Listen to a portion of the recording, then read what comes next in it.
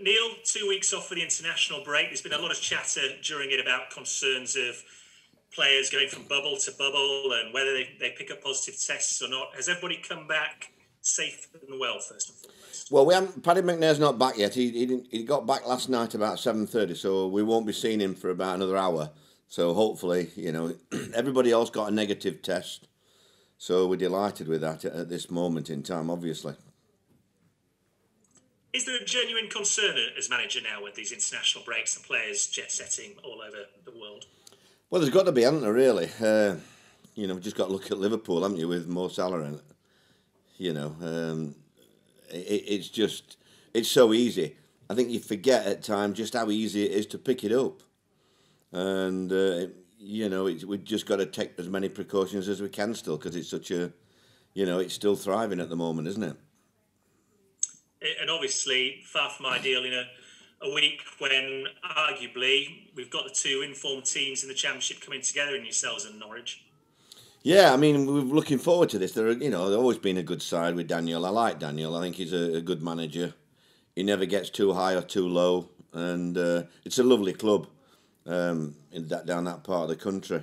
Nearly went there once, so it was, you know, I weren't far away. Uh, but it is a nice place, and we always um, you know, it's always a good game, I think, because you know what you're going to get, and uh, I'm, I'm sure uh, Norwich are the same. How close when you say you nearly went there? Uh, in the last two, I was. Yeah, in the they gave it Bruce Rioch at the time, a while ago, into it, a few years ago. I remember. A few years back now. I remember filling a. I remember filling a big form in, and uh, they wanted forty questions or something before you got your interview. You know. And I went there and I sat around a big table with about 10 people and Delia and uh, the, doc- the old club doctor. And, and they looked at me and they said, Well, Mr. Warnock, do you think our fans would like your style of football?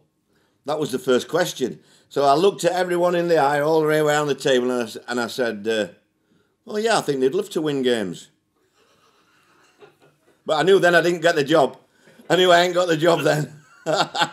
so it was a quick interview. Short and sweet. Yeah. um, you, you, talk about the, the, job Daniel's done down there. and he's found himself in a position that you've experienced a few times in the past when you've got to move players on to um, adjust finances accordingly, and yet he's found a way to mould a team that bounces back and wins, especially after what was a, a difficult season in the Premier League from last year. Well, what they've done over the last few years with going into the Premier League, they've, they've, they've invested heavily in players. So when you come to release players, they've still got a, such a good value, you know, and uh, some players might not even be right for the championship when you've been in the Premier League. So at, at some stage, you might be better off, you know, cutting your losses. So it's always been a club. It's always been a club that supported the manager, and the managers that succeed there always be the ones that look after the board.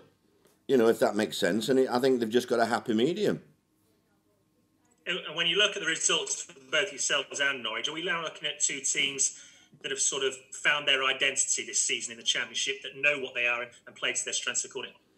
Well, I don't think there's any shock in, in, in, in or surprise in what Norwich are doing. Uh, they play the same way, whatever division they're in. And, um, you know, we always expected the three relegated teams with the, the wage bills that they have, etc., and the players that they've got to, to be up there. I think we're probably the surprise of everybody um, because I don't think anybody expected us to be up there. But we're enjoying it, and uh, you know, like I say, we look we, we're in, we're looking forward to pitting our wits against what Ronnie Jepson said. He thinks it's the best team that he's seen this season. You know, so I'm looking forward to it. You look at the last four games that the two sides have played this this season. I think there's been one goal scored between you in those four games, so probably on for a three-all draw this weekend. Well, if we score three goals, I don't know what I'll be doing. I'll be doing somersaults, I would imagine. Um, it's just difficult, you know. You, you know, you look at the strikers that Norwich have got. If they get our chances, they would score a lot more goals than what we have. If that makes sense to you, uh, we've had some very good chances and we haven't put them away. Whereas you know your Pukkis of this world put them away without thinking, and I think that's the difference really. As you go as you go higher, you, you have to take the chances, the percentage of the chances that you get. And just finally from me, if I can, Neil, a lot of talk again this week about concussion, obviously dementia in football, given what's happened to much of the team of 66 now. You've been in the game many years. I've got no doubt you've seen training techniques change over that time, heading the balls in, under the spotlight. Do you have concerns uh, as a manager, seeing what you've seen, knowing what you know now?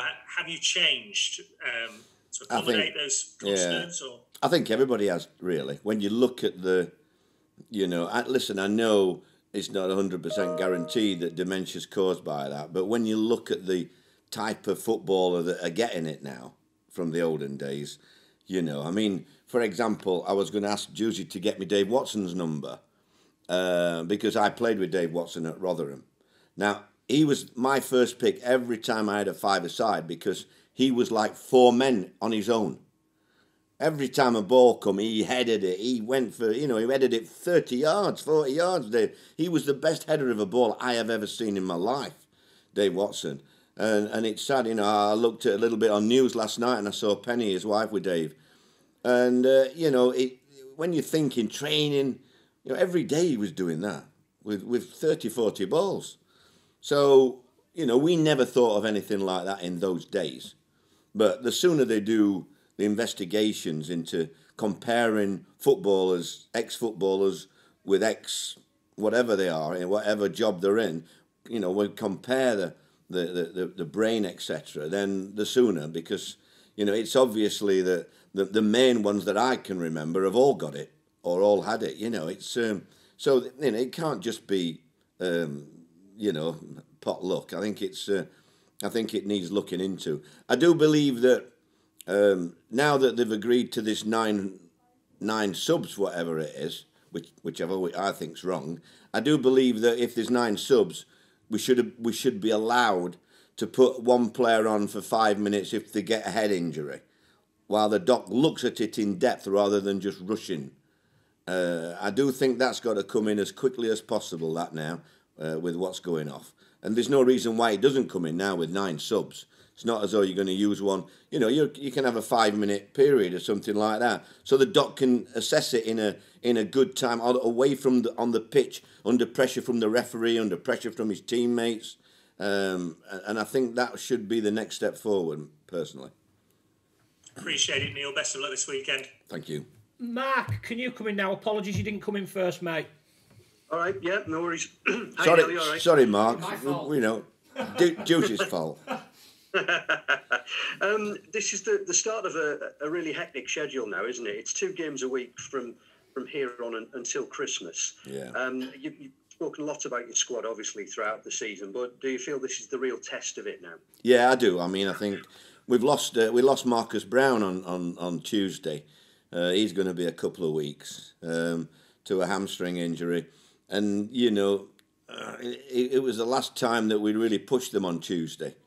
Uh, whereas you know they're going to be getting games which you push yourself in a game every time. You know, especially certain positions. So um, it's going to be a big test for all the, the, all the squad and, and the staff really to um, to try and look at players that are fatigued and who might need a, a, break that you're not you know you're not aware of when you watch them on the field. So we've really got to you know do things that we've never done before now. I think to keep on top of it. How difficult will those decisions be for you when it comes to certain players? Because, for example, Paddy McNair, we know has played a lot of football in the last couple of weeks when he hasn't been with you, but we also know how important he is to you. So how difficult will it be when you have a player who you you know is really important to your side, but you're starting to worry about their workload? Well, I mean, you know, you know what I've said about the Irish um, this week. Um, uh, you know, I think I think if if Paddy didn't take free kicks, he probably wouldn't have played every minute of every game. Um, because that would look like the best way that they could score a goal, you know, if I'm honest. So as a manager, you, want that in your team. But you know the amount of running he's done in midfield um, in those three games. I mean, the the first game was a fact. We all wanted him to win, obviously, in that first game and get into the Euro, you know, Europa um, uh, competition. Um, but once that didn't come off, and they had the two friendlies, I I, I just presumed he'd only play in one game because they'd nothing to play for. But to play in two games like that, and, and uh, him and Dallas, I, you know, for me, it's just a a, a mistake. You can understand a young manager wanting to get a result before you, you go off for a few months, you know. But at this time of this this stage of the COVID, um, I, I think it was it was a little bit immature, really, the decisions that were made. I think selfish and immature, really. Do you feel in a bit of a difficult position then with with uh, Paddy and, and Norwich this weekend? Because clearly, you know, the, the, two teams in the best uh, form in the division, and you're only three points behind them. So it, it, obviously, it's a big game for you, isn't it? It is, but you know, fortunately for me, Paddy doesn't really uh, raise a gallop when he plays for me. He play he plays at the back and he plays with a fagging, so it, it's not the same. um, you have increased your squad slightly, haven't you, in, in these last couple of weeks with Duncan Watmore? Tell, tell us what it is you like about Duncan and what he what he's going to bring to things. He's just been a, a, a refreshing um, new face around the place. He, you know, he's quick and direct, and and um, he's fitted in really well. He he played in the England under twenties or twenty ones with Tuba, so it was nice to see them. You know, going back, uh, reminiscing and things like that. But on the on the training ground, he's improved over the two weeks. He's got better and better. The first week he wasn't um, what I would say up to you know anywhere near up to it, but then the, the couple of weeks he wanted to give it a go. Rather, he had some good offers away away from here, um, but he wanted to give it a go, and, and I'm delighted that we've given him a chance. All right, it's only a short contract, but you know he doesn't have to do that much to impress me if he carries on as he's been in the training field. Do you see him as a striker, uh, as a wide man? What, what's your, uh, mainly as a wide man? I think as a, you know, at, at the moment we're having to play almost fullbacks as wingers, you know, and we need a little bit more to create for strikers in that area um, and we will for the rest of the season. So we, we are looking at wide areas. Um, one international we haven't mentioned is George Saville, who obviously missed the game against Brentford, and then he's uh, left the the uh, international camp as well. Uh, what's the situation with George? Is he available for you at the moment? Yes, he's available. He's available. Obviously, he's had some personal problems in, in the family, and uh, uh, we've tried to give him every support that we could. And uh, you know, I knew how important the Irish game was, and, and he, he, he got over to, you know, but before we got to when we before we played at Brentford, you know, I told him that family is more important than bloody football, you know, and to, to get off home. Uh, I never even thought about him on that Friday and Saturday.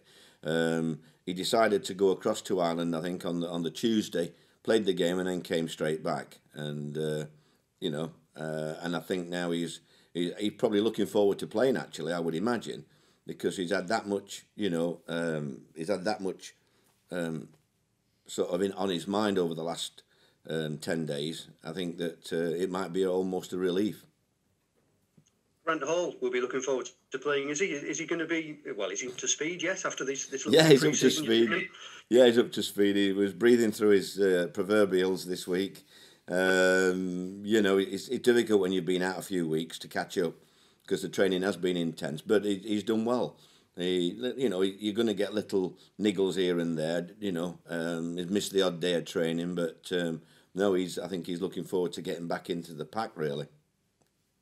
I spoke to Ben Gibson earlier this week. Obviously, he's coming coming back to face his old club for the first time, and and he, he's adamant that he looks at, at, at you as, at Middlesbrough as promotion contenders. Do you think he's right? Um, well, I mean, obviously, we spoke to Ben about coming with us at one stage, you know, in the summer. Um, but I think I, I, think it's a little bit too early for us. I think I think the the main men are the, the the, the teams that came down and the ones with the big squads. You know, I think there's a. I think there's five or six above us really, but I think below that, I think we're you know we've got a, a, good chance of of hanging in there on those playoff positions. Um, the lads are all responding. They're all they all know that in the next nine games, some of them's going to have to play out a position. I would imagine um, to help me out because we've only got we've only got the one or two options in certain certain positions. But they all seem to be mucking in at the minute. You know, Tavernier, for example, I'm playing him in midfield, wide right, wide left. You know, uh, wing back. He played he played everywhere for me at the moment, and never moans. Well, he moans, but not about his position. He moans about everything in life, does Mark, but uh, but he uh, he doesn't moan about on the field. Great. Well, look, good luck this weekend. Thanks very much. Thank you very much. Dawn, please. Dawn, where are you? Yes. Hi, Neil. Hi, Dawn. Hi. It says Andy, but it is actually me. Yeah, don't so worry, love. Sorry for the confusion. Um, Mark was just mentioning Ben Gibson there. There's another uh, sort of Boro boy coming back as well, Jordan Hugill. Um, does it does it make it more difficult, do you think, to face a team that has former Boro players in it? Oh, I don't. I don't think so. It's like me when I go back to my old clubs. You know, I think I've had that many. It's nearly every other week. I think you want to do well, don't you, against your old clubs? Um, and I mean, Jordan scored that cracking goal last year that won the game. Um, where was he last year? QPR. QPR. Yeah. Um, so I, I would imagine he's looking forward, but he might not even be playing. You know, we just don't know, do we? On that.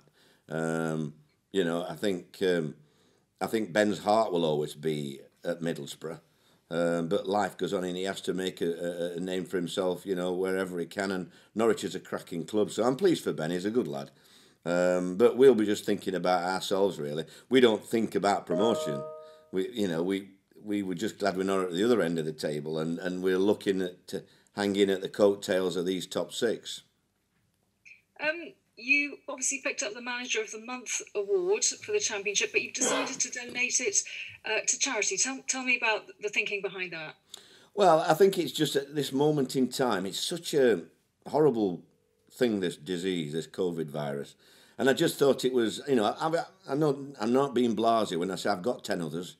Um, so there's only so many places you can put on the balcony on the whole thing, in there? And I just felt our fans have been fantastic to me since I've been here. So I just asked if it, I didn't know whether they would let me, but I asked if it was possible to let a supporter have it, you know, and then the Butterwick Hospice is such a great cause, really.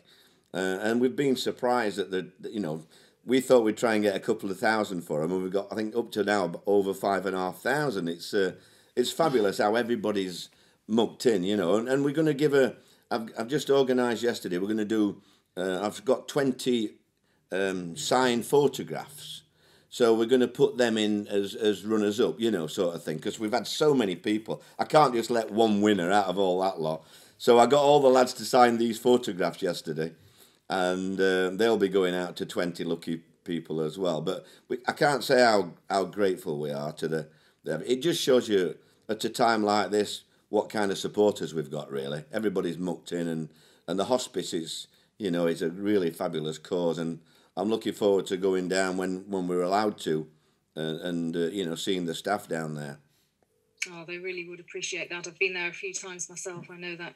Um, just finally, from me, um, the government announced a bailout for sport yesterday, but football was not um, among the sports to benefit. What do you make of that?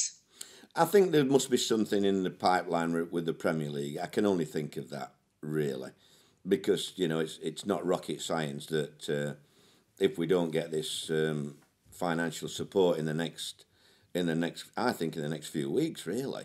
Um, I know of two clubs that are talking about struggling to pay at end of November uh, the wages, uh, and that's only going to get worse. So uh, I think there will be some sort of a bailout, um, you know, from the Premier League, and, and, and I think it's got to come from them quite rightly so, you know, the money that's involved. I know they're missing out as well, but, you know, they're going to miss for a season, aren't they? And then they'll be back to normal. Uh, you know, th- there's a lot of clubs need help. Were you talking, when you mentioned those two clubs, are you talking about clubs in the Championship or, or below that, League One, League No, two? below that, yeah, below that. But I would imagine there's one or two in the Championship, you know, that rely on heavily on individuals.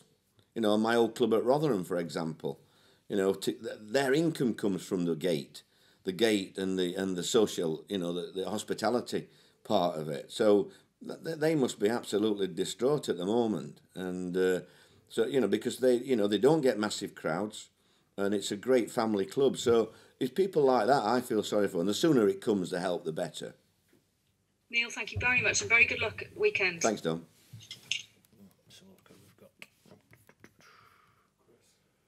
Oh, Chris. Hiya, Chris. Hiya, Neil. How are you doing? Well, you got him on your wall for behind you. Oh, these are the officers, corporate ITV, and all. Oh, I thought it was a. I thought it was your lookalike then. Thought we were comparing you. that. I, I would take a lookalike at that salary. I tell you. Yeah, I do. I do. Um, I won't ask you whether or not you've been watching it. Um, I'm sure you're far too busy to watch that sort of stuff. Um, Hey, just hey, hey. Gibson, Neil. I was nearly in it. Were you? Never you mind. So carry on. You'll have to tell me that one another time. Um, on Ben Gibson, how close was he to staying with Middlesbrough this season? No, it wasn't really close. I mean, there were talks about it, but financially, it didn't it didn't make sense really. Um, it, you know, you've got to look after your own family as well, and you know, I could understand where where Ben was coming from. So it, it didn't really get down the line, if I'm honest. No, I suppose though having him training at the back end of last season and, and perhaps over the summer, you must have been licking your lips hoping that you could have kept him. Yeah, I mean, when he was training with us, it made me realise how lucky I was to have Dael Fry. I used to say I used to say that to him as well to to Ben. But yeah, he's a good player. Yeah, um, and just just on the on on uh, the question from Dawn about the, uh, the the trophy that you're raffling off for the the Butterwick Hospice, I guess that just shows how in these desperate times how how connected the club is and how important it is to the local community. I think you've only got to look at the messages, you know. I mean, my wife, I, I, I'm not a computer man, you know. My wife said, somebody said, thank you, Mrs. Warnock, for letting him come up. You know, so it's cheered us up a bit as well. You know, some of the messages on there. Um, I think everybody needs cheering up at this time. And I think if you can put a smile on people's face or you can make group happy, and I think this got people talking about the club in the right way. Uh, the charities, charities are fabulous. You know, at this time of the year as well, coming up to Christmas. You know, every hospice in the country needs our help, really, and uh, it was just good. You know, the, the the players all agreed to it. You know, they all thought it was a good idea, and then fortunately the FL agreed and and, and, and Sky didn't they? Because we didn't think they they might not allow us to do it as well, but they did. So I'm thankful to them as well. Yeah, absolutely fantastic. And just last question, obviously, compared to last season, you're under a, a, different kind of pressure at the moment. You know, when you look at where you're sitting at the table, is it nice not to sort of be worrying and looking over the shoulder? Uh, I never really worry, if I'm honest. Uh, uh you, when you get to my age, next, you know, every game's a, a, a, bonus, really. So yeah, I mean, I want us to play well. Um, I'm looking forward to the games every every week. They're a good group. I know there's going to be problems along the way.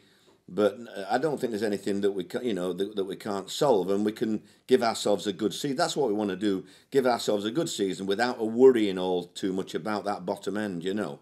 And uh, and as we go on and, and get more confidence, then you just don't know. Especially if you can hang in there till after Christmas. I think if we could be where we are now, um, come uh, you know the end of December, beginning of January, then you you might start me getting to say that we're we're in the you know we're in the pack for it. But at the moment, no, we're just trying to hang in there. And I, I take it that's obviously what you've you've said to the lads. You haven't talked about promotion or playoffs or anything like that with them. Not at all. No, no. I've just told them that you know this could be my last game next week, so make sure we do well. you know, it's all right for them at their age, and not not to put my heart under too much pressure. Um, enjoy. Thank you so much. Have Thank a great you. game.